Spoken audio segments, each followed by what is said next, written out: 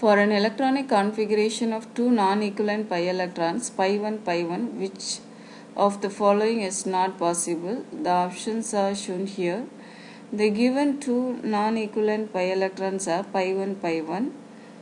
The molecular term symbol form is 2s plus 1 lambda gerade or ungerade.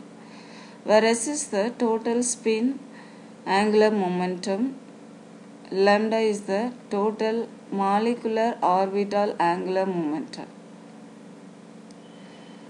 In the given system, both the pi electrons having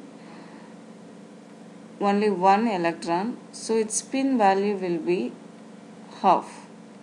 Now we calculate total spin angular momentum, we get 0 and 1. If we substitute this value in this form that is 2s plus 1, we get spin multiplicities. If s is equal to 0, the spin multiplicity will be singlet.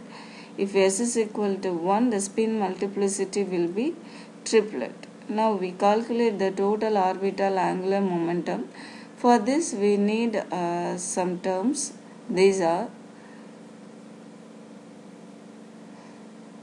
if uh, lambda is equal to 0, the term symbol will be sigma. If lambda is equal to 1, the term symbol will be pi. If lambda is equal to 2, the term symbol will be delta. If lambda is equal to 3, the term symbol will be phi. Now we calculate the total orbital angular momentum using this formula. If uh, lambda is equal to 1, the system will be pi. The given system, both the given systems are pi system. So both the lambda, small lambda value will be plus or minus 1. Now we get capital lambda. Capital lambda value will be 2 and 0. If lambda is equal to 0, the term symbol will be sigma. If lambda is equal to 2, the term symbol will be delta. Now we have lambda values and spin multiplicities.